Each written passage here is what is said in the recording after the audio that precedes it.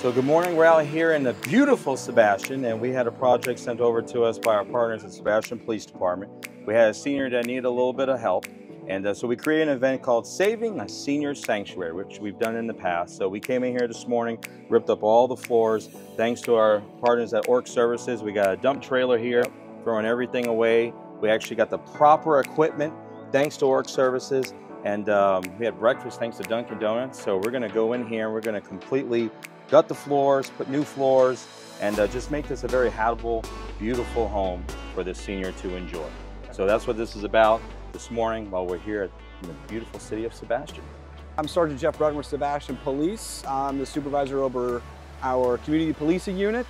Um, I'm standing here next to Adam with Orc Services. Um, we got a call about a elderly lady that needed some help, uh, needed some services. So I came out here uh, and kind of assessed her needs and uh, made a couple of phone calls, reached out to a few community partners that we have here in Sebastian.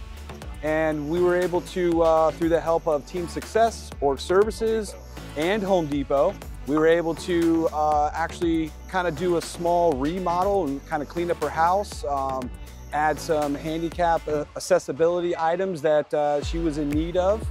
And uh, you know, this is just a good reminder of Sebastian Police coming out here and helping the public and helping the members of our community. So, Adam, do you have anything you want to say? Well, I, I think that the Sebastian Police is doing an amazing job, Team Success and Home Depot, and and uh, just being involved in the community and giving back. So if anybody's out there wants to get involved, look up Team Success and help us out.